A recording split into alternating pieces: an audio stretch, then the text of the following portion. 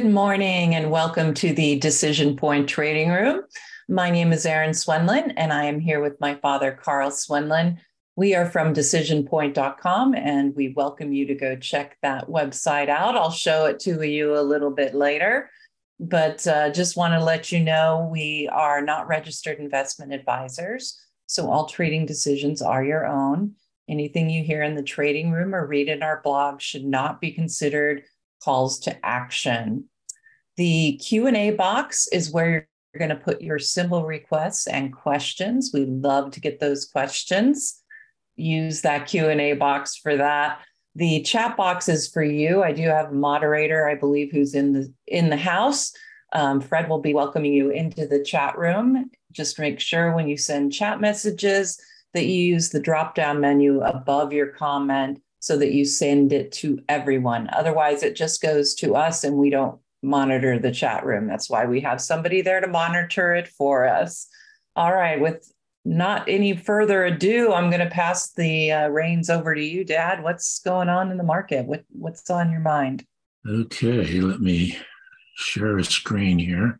We had a question, wanted to know about our analysis of the uh, Silver Cross, Golden Cross Index, and how we use the stocks above their 20, 50, and 200 EMA to uh, assess that.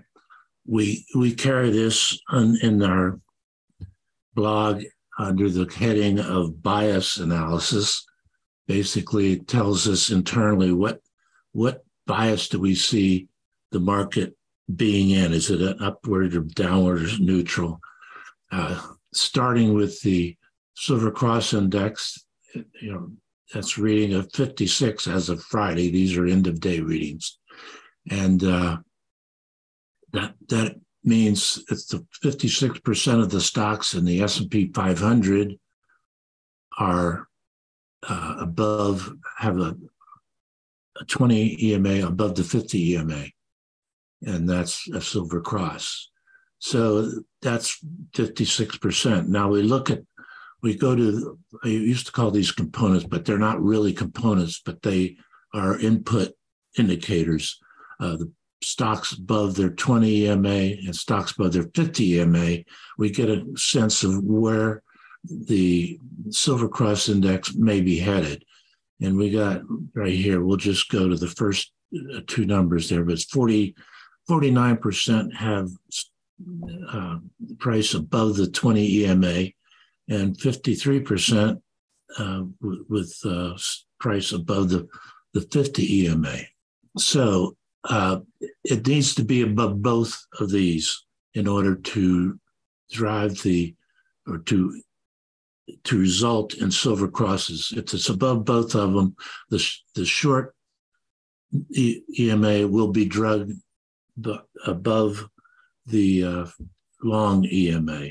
So right now we have uh, 49% above the 20. So that means that's the best we can uh, we can accomplish right now. That's lower than 56.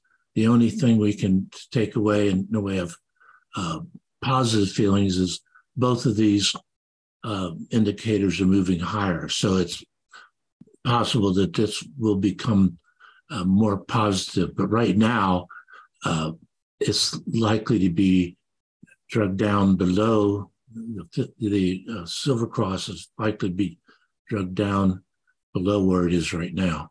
Same uh, theory on the Golden Cross, which is uh, at 59%, which means there 59% of the stocks in the S&P 500 have the 50 EMA above the 200 EMA.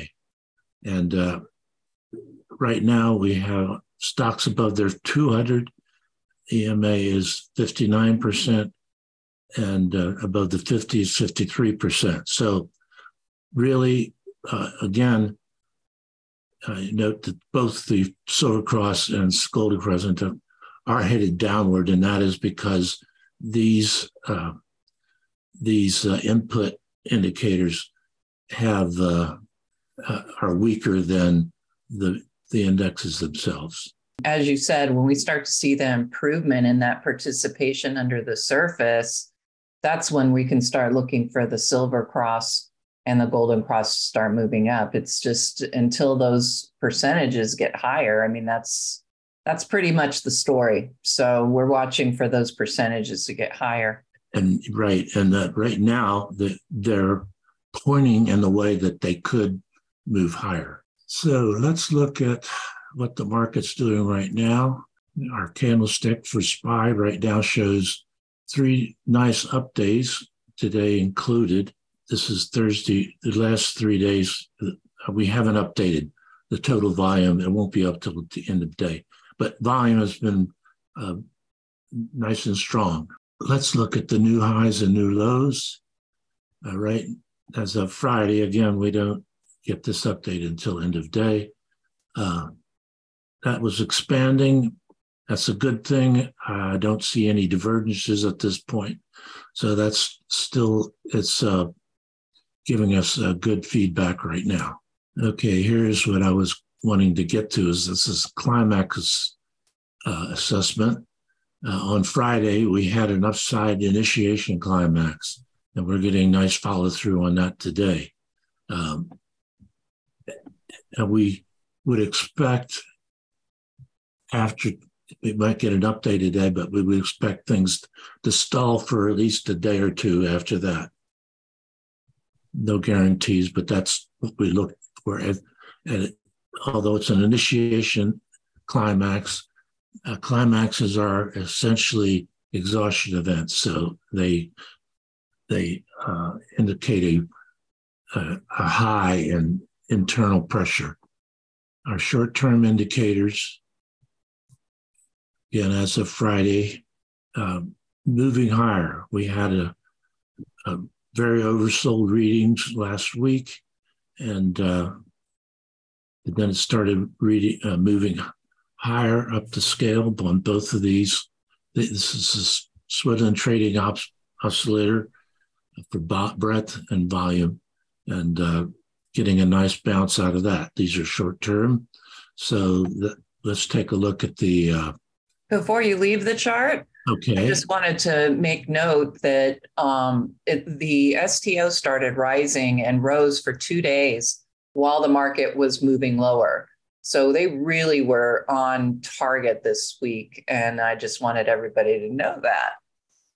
Right. And this is this is a typical situation. Uh, we can see that they start moving higher before the lows are hit or at you know at the lows. So it's um, it's a good indicator. It's got a great name. Right. okay. Here are the intermediate term indicators. Um, intermediate term breadth momentum and volume momentum, and uh, they didn't get very oversold. And uh, right now, with the market moving higher, uh, is starting to look very bullish. We had uh, overbought in the normal range and oversold way, way higher than we would uh, expect for bearish uh, outcomes. Let's go ahead and look at the dollar. Today, the dollar is down slightly, which should be good for gold. We're looking at a rising wedge here breaking down from that, just as we would expect. Is gold up today because the dollar's down? No, down slightly.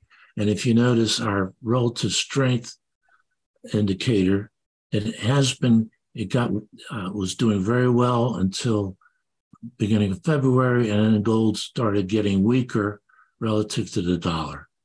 Um, understand that the dollar, uh, if the the dollar and the uh, gold are inversely correlated, so and if everything is equal, a one percent up move in the dollar should mean a one percent down move in in gold. Uh, of course, it doesn't work like that, and that's why we have the relative strength. So gold got weaker versus the dollar, and then it started. It's been started getting stronger although today, not much follow through on that. Um, crude oil, basically in a range here for for three, four, almost four months, uh, heading for the top of the range right now. Treasuries, they're low last week on this support line, and then uh, moving higher.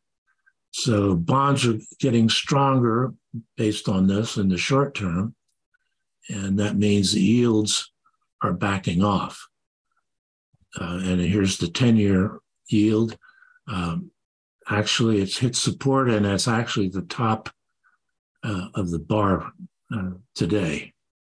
Here's here's yield. Here's our yield array, I call it, and uh, from the short term to the very long term, and essentially, it's in a rising trend. It's it's been uh, sideways for uh, since uh, November, but it's bottoming bottomed out and moving higher. Incidentally, these yields are normal. It's not put them. I mean, uh, generally speaking, now they are inverted, but I'm saying that these are the kind of yields we should expect on these instruments, and they've been greatly depressed. Thank you to the Fed. Uh, the dynamic yield curve this is not normal. It's inverted and uh, need to uh, keep an eye on that. Uh, it's called the dynamic yield curve because let me just indicate this is a cool chart that stock charts has, but you you hit it, um, animate it, and it starts showing you moving across the. Uh, this is about a 20 year, 22 year chart moving across, showing you the yield curve at each one of these spots. I'm not going to run it all the way across, but it just, I think that was. Yeah, it does give you a sense of, you know, what happens when it does invert, um, what the markets generate or what, uh, yeah, the yields are doing, you know, when the market bottoms. It's a, really a, a kind of a fun chart to mess around with. Um, one thing I picked up last week, I think it was, but uh, off the subject, uh, credit card debt is at an all time high, which is not good. That's the worst kind of debt. Interesting thing happened getting to the real estate bubble. I uh, I watch our home value on the two on Redfin and uh, Zillow, and Redfin has always ca- carried us about 15 or 20 percent lower than Zillow. You know, they're just algorithms and can't take them that seriously. But all of a sudden, this this last week, uh, Redfin tells me my house is worth about 20% more than Zillow is carrying it. And guess what? they're in the mortgage business now. So that makes sense. It's just so people to a mortgage. right. so watch out there. There's everybody's trying to, to fool you. And I think that'll do it for me. Unless I all right. Did we look at Bitcoin? Uh, I know we have some. Oh, I didn't put that up. Let bands me, up there. Let me do Bitcoin yeah, that that was kind of interesting last week. Definitely. There it is. Typical Bitcoin. Right. It's been in a rising wedge and uh, got to the bottom of that wedge uh, at the end of February, worked up the, bottom and finally broke down uh, because there's another uh, exchange um, crypto exchange out there that's having some trouble. I don't know uh, what the details are, but uh, let me just look at a longer term chart. this shows you where these support lines, a lot of them are coming from. And uh, uh this, I think, in the grand scheme of things, I don't think we're going to be challenging these old highs. Just my guess. Mm. Anything else? No, I think that was it. Okay. All right, so let me go ahead and take the screen. All right. We're going to look at the sectors, but before we do, I wanted to take you to our website really quickly and our homepage. So if you are not familiar with our products, we do have two of them, the Decision Point Alert and Decision Point Diamonds. The alert is going to help you determine the trend and the condition of the market. And the DP diamonds are stock picks. So we try and find stocks that are going to ride that tide of trending condition that we're seeing in the overall market. So if you are at all interested, you can certainly sign up for our free newsletter. Um, you're obviously here in the trading room, but if you're not here live, you can register right there. But we publish um, the, the DP Alert Monday through Friday.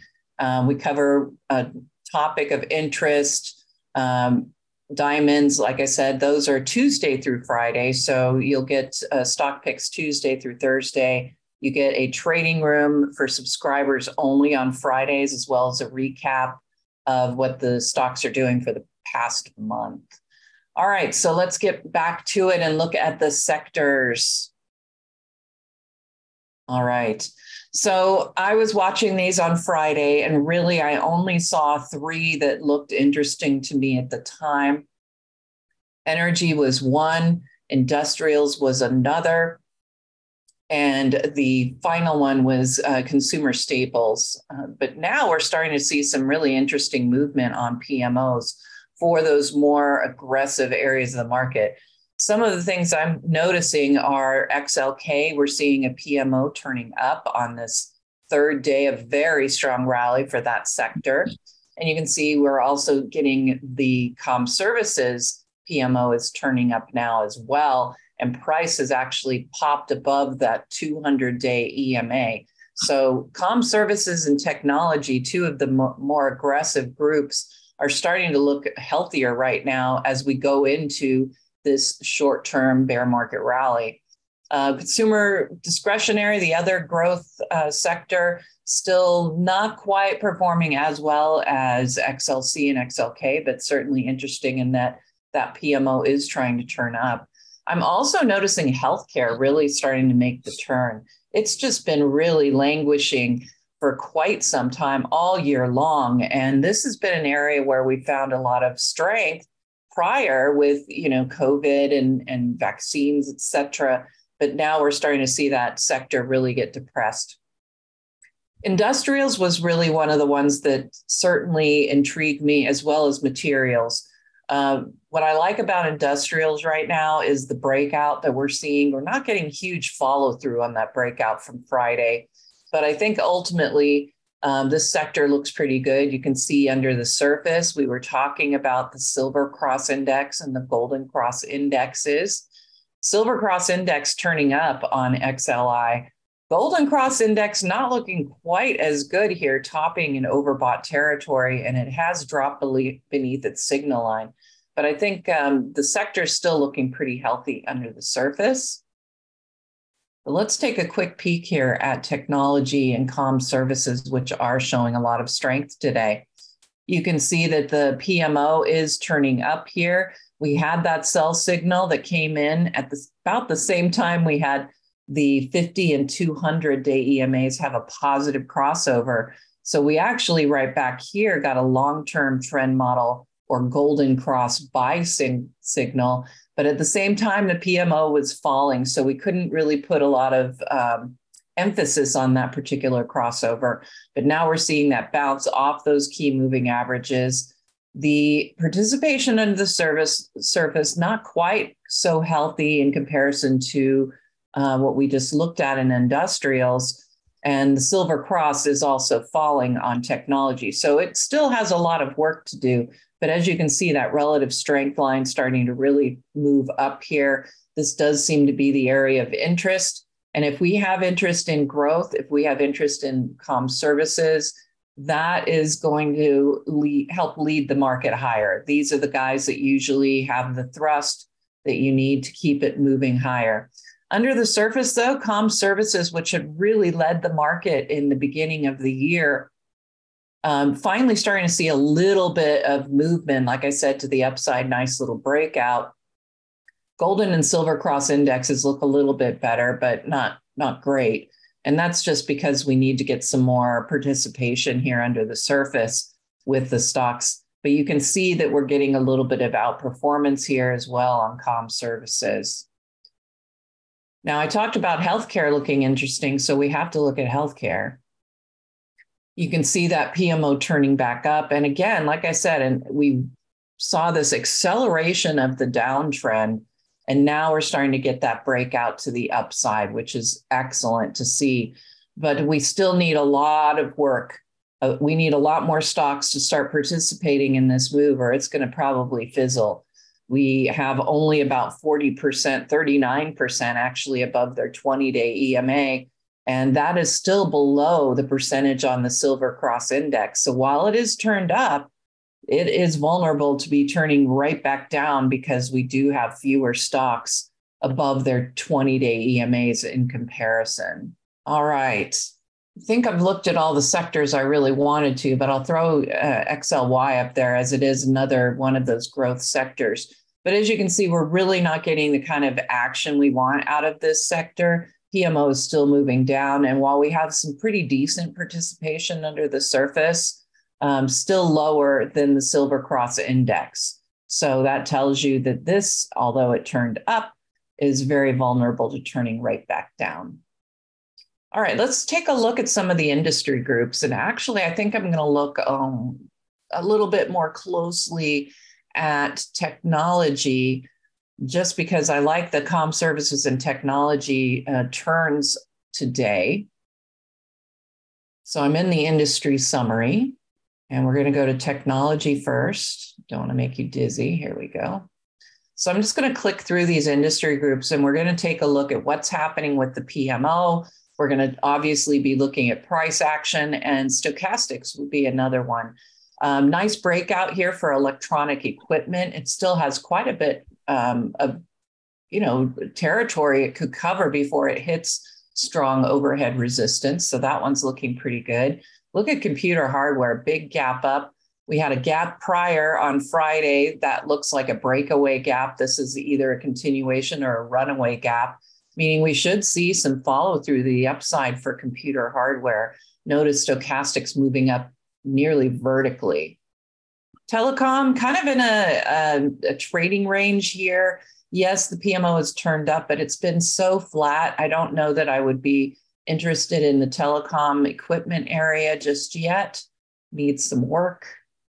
Computer services, again, a really nice turn, just like the sector is seeing, but it's still kind of early in that move. The PMO is just turning up, and stochastics, while they are rising, everything here is still, notice relative strength is still petering out here. So it's not quite ready for, for prime time, as they say. Uh, we've got some pretty nice movement here in electrical components and equipment. Looks like a breakout is on the way. PMO is turned up. Semiconductors, which everybody is mostly interested in, a lot of them. Um, I will look at semiconductors under the surface because we actually do have that available. And it's looking pretty good here. Notice stochastics almost above 80 software making a nice move here. It looks very similar to what's going on in the s&p with a third rally day. Pmo turning up. Stochastics looking pretty good here for software. So two of the really big uh, groups within the technology sector are looking really good and that could continue to lead this sector upward renewable energy also having a really great week last week to finish it and looks like a little bit of a, a pullback. We are up by almost 1%, but you can see that tail or that wick on the candle right there, the OHLC bar. So we started off with a bang, but it is pulling back a little bit now on renewable energy. I'd be careful with that. That's a huge move to the upside. It just begs to uh, see a pullback. And at that point, then it might be a little more interesting for an entry. All right, I think I've covered enough of the industry groups and sectors. So I think we can um, move along and start looking at some of your symbol requests. And I want to talk before we do that let's just look at, for example, Tesla. Okay, so what I want to do is just show you before we really get started in those the um, what we're what we talk about here on these charts. So I think I have everything on this chart that I could possibly need. I've got the price, I've got my primary indicator that measures momentum. I have the RSI. This actually measures whether price itself is oversold or overbought based on the last two weeks trading range. We have stochastics, which I call my early warning system. They usually turn very quickly and give you uh, notice when things are kind of starting to go bad. You can see where they went under 80 right back here, sort of leading us into the, the idea that we would get some consolidation. And then I like to include relative strength to the group to the SPY, the stock to the SPY, but more importantly, the stock compared to its group. Do we have a leader within the group? And of course, the on balance volume, so we get the volume piece. So I'll be talking about that when we go through Tesla. Based on that PMO, we know that things are looking a little bit um, weak. And you can see RSI falling, and stochastics would already had given us warning that there might be a problem. Final thing top. I want to show you, yes? It's a rounded top. A rounded top, it absolutely is. You could so that's a bad sign, especially with the PMO overbought and uh, on a sell signals. yeah, you could make a case for a, a, trading range, but you know it's it's looking rounded to me and a, a little dicey. Yeah, I agree. And it stopped at the 200 day EMA. I mean, it hit that resistance level and immediately turned back down. The other one I'm going to show you is the five minute candlestick chart. This is for our entries and our exits. I'm not going to show this one for every single stock we look at, but I, I will try and do it for a few. The conservative buy point is a crossover on the five minute PMO combined with a positive RSI.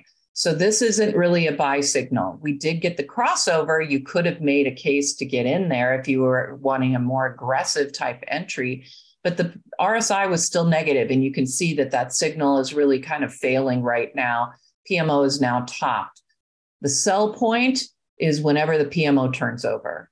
It's usually going to get you out at a pretty decent um, after a, move to the upside. Typically, it's a, a pretty good sign when you see that five minute PMO turning over that it's a good time to get out. So, the five minute chart, we only look at it if we're going to enter or exit a stock. We don't use this to see if we want the stock or we want to get rid of the stock. That's what we do on that daily chart. So this is only for your um, I'm ready to get in or I'm ready to get out. All right, I'm ready. Let's okay, let me take it back just a, a sure. minute. Ah, yes. I have some questions about UNG. Uh, this line down here is where I bought. So I, I was looking good on Friday. Today, it's down like 15, 18%. Yes. Which is nuts. Now, why do you suppose that is? And let me just show you. This is the continuous futures contract. Notice the price. It's around $3. Okay. If you move, if it goes three cents in either direction, that's a 1% move. If you go 9%, it's that's a 3 mm-hmm. move. So this is where that that's this is where the uh, the uh, volatility comes from basically is that the the uh, futures contracts are so cheap. So and before you get concerned seeing that big move up and why is UNG down, the continuous contracts don't update until after the market close. Correct. Okay. I'll give it back to you. yes. And, you know, I know everybody, I, the question was, should we hold it? And, you know, we've talked about UNG a lot and that we like it at this level. One of the things you must remember about UNG, and it's one of the reason I don't buy BOIL, which is the um, it takes a two times version, I think two or three times UNG, but you have to be prepared for volatility on this. It's just the way UNG tracks. That's why I, we usually don't um, look at it or get into it until everything really is setting up. I do not like stochastics and the way they're acting and dropping below 80. They usually are our early warning system. But at the same time, my primary indicator, the PMO, even with an almost 14% decline, the PMO is still rising. So that tells me there are some issues, but it is a volatile and we have to uh, keep that in mind. If this if you can't um, you know if you don't like this volatility then you definitely should have either a very small position so it doesn't give you heartburn during the day or just not get involved. Um, i find that with something like this i start with a very small position so that i don't get that heartburn all day long.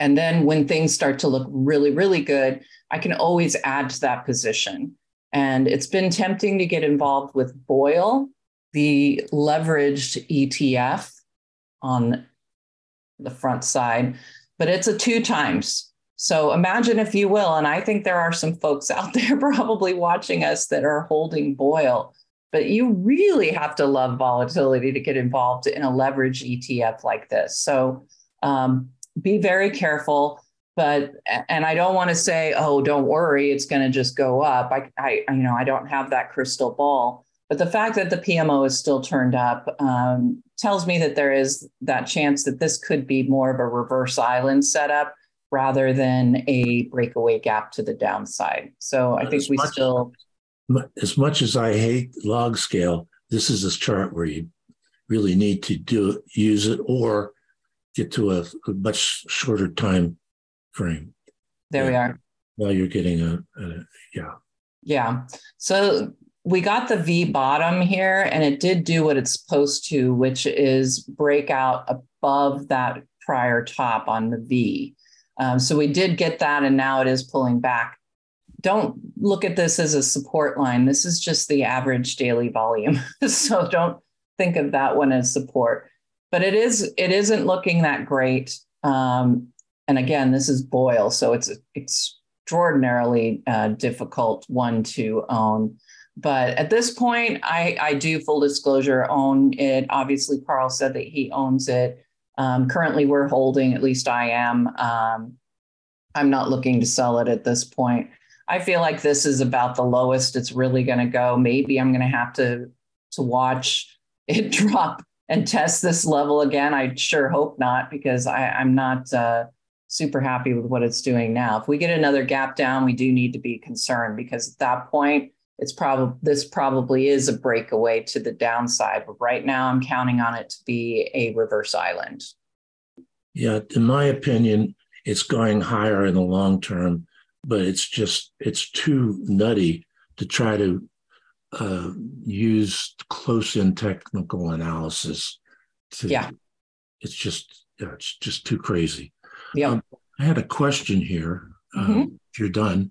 Yeah. Um, okay. Um, is there a way to change the x axis scale of dynamic yield curve uh, scale from 22 years to say two year to check small changes?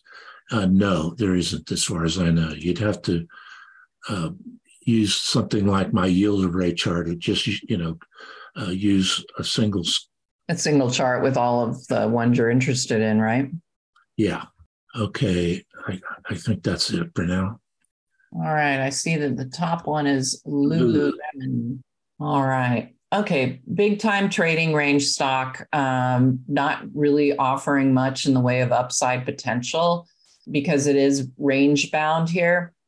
PMO has been flat the entire way. Yes, we do have a new PMO buy signal. Um, but we'll probably get a sell signal right away. We're just going to see this continue likely to braid at least as long as we stay in this trading range. Stochastics are leading, but notice that uh, relative strength is starting to, to tick downward. Um, I mean, it's only one day of trading, but still. I don't like RSI. It is negative. I mean, if I owned this, I certainly could see holding it through, uh, you know, waiting for a stop level right around there, which would be what would that be? Yeah, it's about a 4% stop level. So if you're okay with um, a possible 4% loss, um, that's where I would probably set my stop. I wouldn't get involved in this one. It just doesn't have a lot of upside potential. Okay, ASX. Okay, semiconductors. Oh, I did promise I would look very quickly at the semiconductor one. I'm going to do that because I did say I would. So we actually have um, golden and silver cross now for semiconductors. So we can actually look under the surface on the semiconductor ETF. And so we have the percent above 20, 50, 200, silver cross, golden cross. So silver cross is at a giant 92% here, and it is falling because we have fewer stocks above their 20 and 50 day EMAs. But look at the improvement. Really nice, including stocks getting above their 200 day EMA. And right now, the Golden Cross Index is reading 76%, but you can see that the stocks above their 50 and 200 is higher than that percentage, meaning that the Golden Cross could start to see some movement to the upside. So semiconductors certainly looking interesting, but I have to say that silver cross index topping in overbought territory does make me nervous. So if we do start to see a failure in this group, it probably will be uh, you want to get out pretty quick. But right now it's it's looking pretty good. So back to ASX. Yeah, the sectors and industry groups uh, they don't have as many stocks in them as say the S&P 500 or the S&P 100. So it, uh, it, they can move a little more radically without it being too uh, serious. Uh, you know, if you get three stocks dropping in a 20 stock group, it's more, it has more impact than if it's a 500 stock group.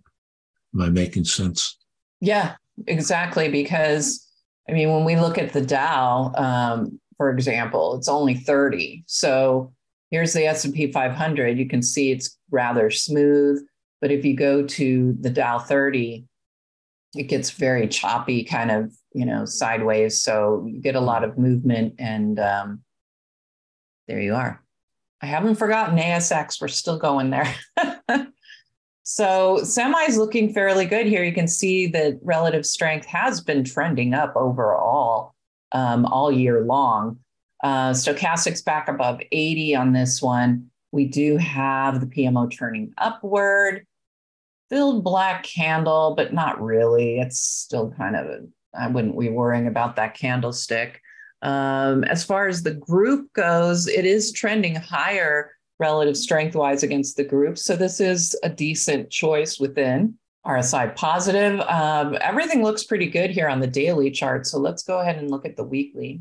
And yeah, I mean, overhead resistance is here. So we're still below the longer term overhead resistance. So I would like to see that pop um, above uh, the that left top there. But overall, I mean, um, PMO rising here. Uh, SCTR is over 90%. So this one does look pretty good um, in the longer term and the shorter term. Um, let's look at a five minute in case this is something interesting for you to want to get into.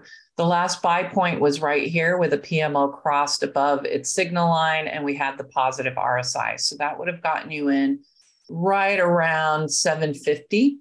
Currently, it is trading at the same price at 750. So you could still get in on that prior buy point. But you also have the hindsight being 2020. You can see that the PMO is still headed lower. So you might actually get a better buy point than right this moment. Um, you might be able to see this uh, turning up and then giving you that opportunity for the entry. Right now, we have a negative RSI and a falling PMO, which tells me it's not an entry point, but we certainly could see an entry uh, later today. STRO. All right, store. That's a long. Oh, S T O R? Yeah, O S T R O, says here. There we go. I was doing O R.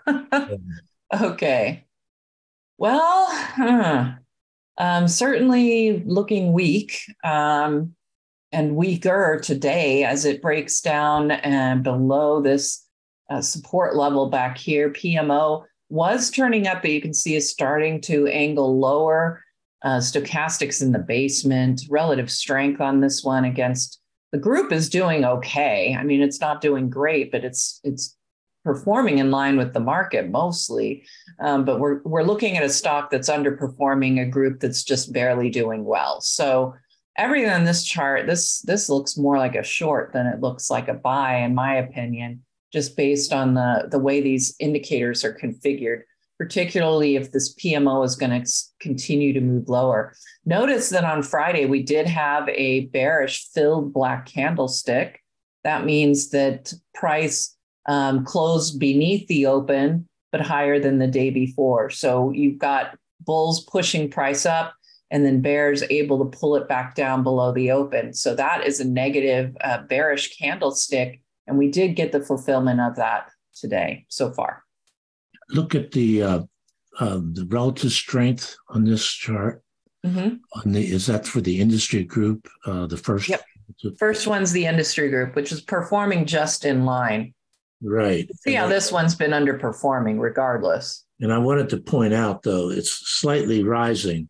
Well, you look at price; price is not rising at all, and uh, just that's what relative strength is relative to the other one. So if they're both falling and one is falling slow more slowly, it, it's going to show a rising uh, relative strength. exactly. It's an excellent point, which is why when we've been in this bear market, it's been rather difficult because you really can't get away with relative strength being in line with the benchmark, which is the SPY because the SPY, if it's moving lower like it does in a bear market, you need something that absolutely is outperforming the benchmark. Um, at this point, this one, as you said, it's not, it's performing in line with the benchmark here. And you can see, at least with the group, um, that's been the case. This stock is underperforming this group, so it's it's looking even uh, weaker. So not a fan. Next up is Uber small breakout from a short term declining trend. RSI is positive. Don't like the PMO, it is in decline. Uh, stochastics early warning system, as I like to call them, have turned up, but they are still below net neutral 50, meaning they're negative. And relative strength, really not that impressive, to be perfectly honest. But I do like that breakout right now. Of course, this candlestick has a nice big wick on it, meaning Bears are winning the day currently on this stock. Um, I mean, the indicators aren't what I would want to get in on a stock. Uh, they wouldn't even be what I'd like if I were holding it. But based on what's going on right now with price, I do see this still as a hold. This is the next support level. So you're looking at a, I would say, um, a risk factor of over 6% right here just getting in if you're you know setting your stop right below this level. So um, i'm i'm not a fan. Okay got two requests for apple. Oh well we have to do that. All right this is what we're talking about. Who is leading the group? Technology is leading and of course um, this one is you know basically the technology group to to some degree. So we are seeing a breakaway gap back here we have the continuation or a runaway gap going on right now. It is trading slightly above, yep, slight, nope, just slightly below the last, um, the highest close in this cluster that we see over here. PMO turning up, our, our stochastics back in positive. You can see really nice outperformance. Um, Apple's looking pretty good here. The biggest issue for it is very strong overhead resistance with a breakaway gap and a, a continuation gap, I don't think it's going to have much trouble getting above that level. And seeing the technology group and, and those industry groups within, including computer hardware, doing mostly uh, most of them doing well. I think you're going to get a breakout here. I think um, Apple's looking pretty good. Five minute chart. Um, the sell point came in today right about here and we're not at a buy point. So looks like you, well, you've got the gap. So this could be, this would be the next support level. That would be the buy point I'd be looking at uh, if we continue down on the day. Okay, PFIX. Oh, yes. Full disclosure, I do own this one. All right, we're seeing a bit of a consolidation phase going on here. This looked kind of flaggish. or pennant. You can see declining tops, rising bottoms.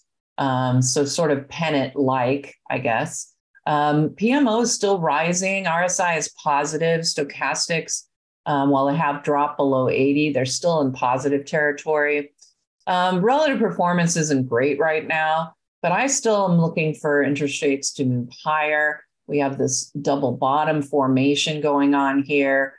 Um, a move to at least the confirmation line would be something I'd be looking for, particularly given uh, these indicators still look positive. So I'm still going to hold it. Uh, I think you could make a case for an entry right now, but you do have hindsight being 2020. Um, if, if it gets down closer to this level, it might be a much better entry uh, on that 20 and 50, but honestly, it, it's not looking too bad right now. D U O L. Okay. No buy point on that five minute chart, by the way. That's a new one. Duolingo. My husband is addicted to this software. I didn't realize that they had a stock. Very interesting. Um, big breakaway gap here, a continuation of that rally breakout here. I am guessing and I'm going to just check it really fast over here if I can get everything. I am guessing that earnings are part of that that big breakout, but let's double check that. Hang on. I think it will be good information to have. Yep, February February 28th was earnings. So this is a nice big breakout on earnings. I know Mary Ellen, um, my colleague, she very much likes to see these earnings breakouts. You usually are going to see a continuation to the upside. The big problem for DOL right now is it is overbought. Um, overbought territory hasn't been a good friend to Do to D, Duolingo. You can see that when it gets in that overbought section, it does tend to turn down. So I think entry right now is a bit on the risky side. I would like to see something like we saw on Friday, a little bit of consolidation. Um, but I, I suspect this one's going to keep moving higher. Um, certainly, investors liked what they saw as far as earnings. Okay, shop. Yeah, it's making the turn. It's in technology. Software starting to look decent. Um, you can see right here the relative strength starting to improve just a little bit here. Um, you know, it's performing in line with with its group, so I'll, that's acceptable since the group is starting to outperform. Stochastics is starting to rise; they're above twenty. Um, PMO hasn't quite turned up. It looks like it will. I like the look here of Shopify, and your upside potential on it is really good here 20, 25% to get back to this overhead resistance. If it gets just to that gap, that would be an eight and a half percent gain. So I think there's um, so certainly some small gain possible here on Shopify. Um, I do like the look of this chart My point. It looks like today, Dad, I, everything opened upward, but everything's st- starting to peter out here. Uh, most of these charts are not at buy points. We're seeing these five minute PMOs just falling.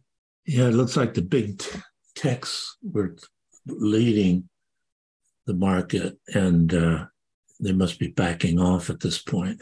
Mm here's the SPY, the five minute chart, and you can see we do have that. We were talking rounded tops. That looks fairly rounded uh, to me.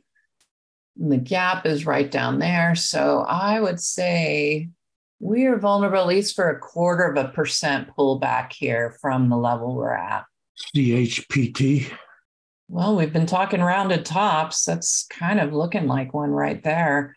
Um, PMO in decline, RSI negative, stochastics flat and in negative territory, and really don't like that relative performance of specialty retailers. That's not a good sign. We often say that half of a stock's price movement is affected by the sector and industry group uh, and what they're doing. So that's not a good sign for this one. Um, I know that these guys are involved in the um, not fueling stations, but charging stations. That's one of their uh, primary um, products, but it's certainly not looking that uh, that good right now. JEPI. Okay, this is an ETF. Hmm, third day of upside movement. PMO turning up. This this looks like it's fairly reminiscent of the SPY. Stochastics now back in positive territory. This one looks pretty good. Upside potential looks rather limited before it hits this areas of overhead resistance. That's only a one, one and uh, maybe a half percent gain. And if it gets back up here, that's like 2.45%. Um, I, I guess I'm looking at this as ETF premium income. It's an income fund. So it probably is a slow mover, um, but it does pay a regular dividend. So that's nice. Look at the yield on this one. Makes probably makes it a little more worthwhile, even though you're going to get that price movement doesn't do as much. But I think it looks pretty good here. Well, look at the uh, uh, the uh, events numbers. Though the uh, quarterly dividend has been dropping.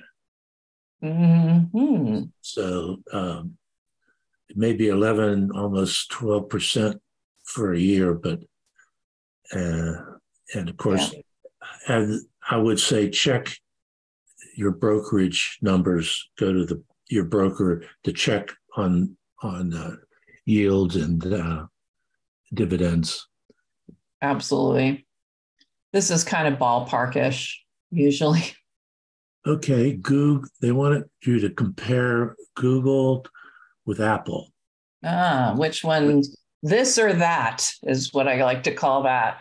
Okay. okay. So when I do a this or that, I'm usually paying attention to what's going on under the surface here as far as relative strength. So we have a group that's improving. We have a stock that is performing basically in line with its group.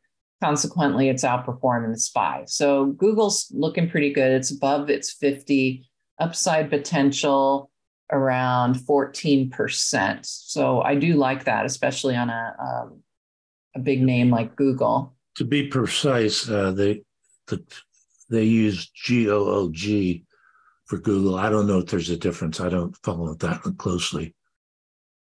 Looks about the same. Looks the same, yeah. Okay.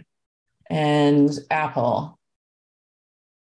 Now these are in two different groups, so it makes it's kind we're we're kind of looking at apples and oranges, no pun intended, mm. um, because they are in different industry groups. Um, breakaway gap, continuation gap, it's already been above the 50 for a while.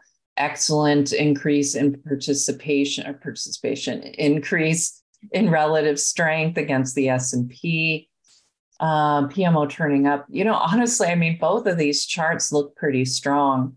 Um, if we compare what's going on against the S&P, it's been flat and now starting to get better. In this case, yeah, flat, not as the improvement relative strength isn't quite as exciting as it is on Apple. You know, I, I really, it's hard to say this or that. They both look pretty good and they are kind of apples and oranges based on, on where they're trading, but I like them both. Maybe I'd say Apple over Google, but I can make a case for either of those stocks. P O O L.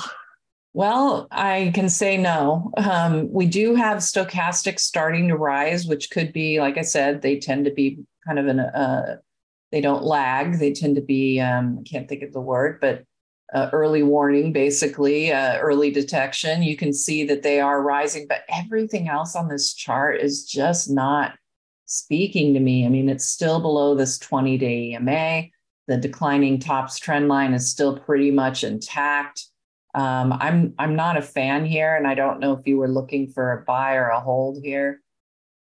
Stop level uh, about four and three quarters percent would get you below these um, the support level right here and the, these levels here. So I think you'd if you want to keep uh, holding it, you're you're looking at that four percent uh, risk involved to keep it going. But uh, I don't think I'd be wanting to enter here.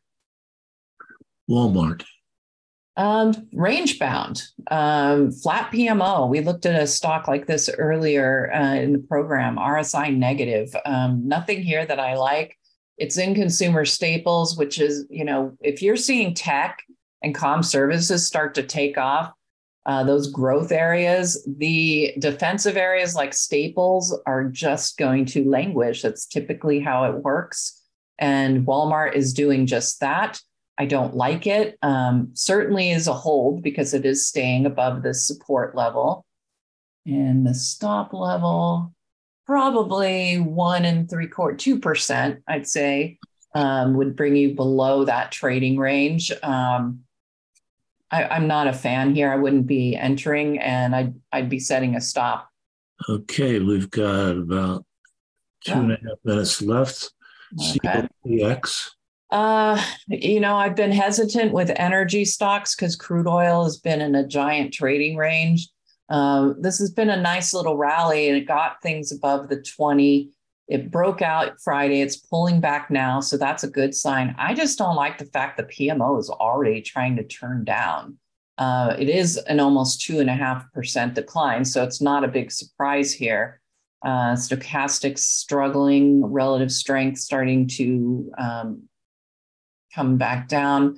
Um, declining tops line. I think it looks okay for a hold at this point. There's nothing to tell me to get rid of it.